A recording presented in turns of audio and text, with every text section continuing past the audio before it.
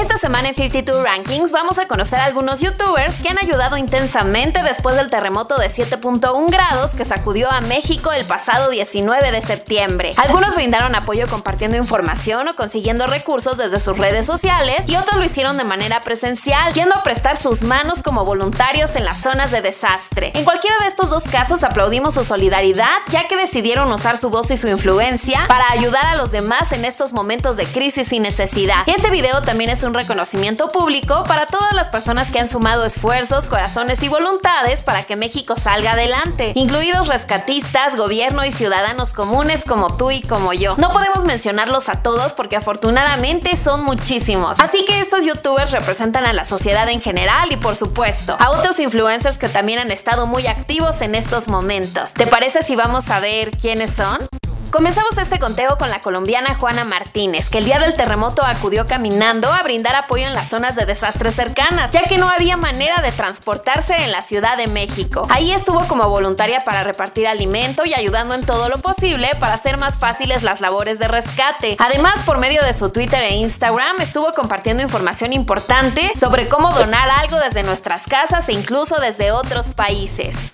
En el lugar número 9 se encuentran los chicos de CD9 que desde el 19 de septiembre han apoyado de manera muy activa en los centros de acopio e incitando a todas sus coders a donar víveres y medicinas para la gente que se quedó sin hogar. También contribuyeron llevando materiales y herramientas a las zonas de desastre y utilizaron sus poderosas redes para orientar a todas las personas que deseaban contribuir a la causa y no sabían cómo.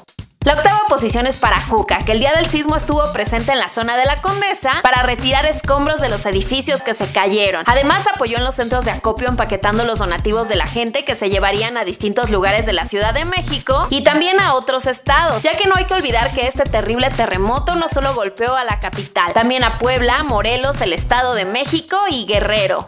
En el lugar número 7 se encuentra La Bala, que también se dedicó a apoyar desde el momento en que ocurrió el temblor. De manera rápida e intensa, ella y su familia prepararon comida para repartir entre las personas que ayudaron a remover los escombros. Además, Isabela y su papá estuvieron de voluntarios en un centro de acopio para recolectar, empacar y enviar todo lo necesario a las personas que a causa del terremoto se quedaron sin hogar ni pertenencias.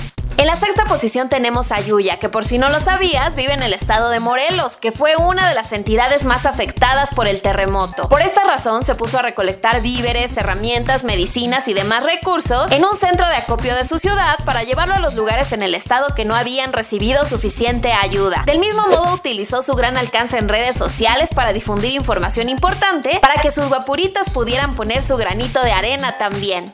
La quinta posición es para Wherever Tomorrow, que dio asilo a los chicos de que parió en su casa, ya que todos ellos estuvieron a metros de donde ocurrió un grave derrumbe en la Ciudad de México. También Gabo y los chicos ayudaron a remover escombros en una de las zonas de mayor desastre, en donde afortunadamente se rescataron a más de 7 personas. Además, Wherever apoyó llevando víveres a los centros de acopio para dar ayuda urgente al estado de Morelos.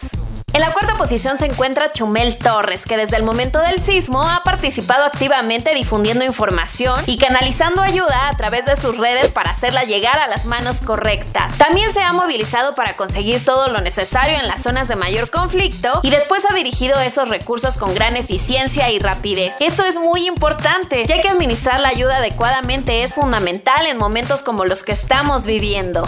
El tercer lugar le pertenece a Bert el Rico Suave, que fue otro de los que estuvo apoyando de manera directa en las zonas más afectadas de la ciudad. Él estaba cerca de uno de los sitios donde se registraron más afectaciones, así que acudió inmediatamente a ver si podía echar una mano. Bert también estuvo bastante activo en sus redes, compartiendo información sobre albergues, zonas que requerían donaciones y otra información importante para que sus seguidores pudieran mantenerse al tanto de todo.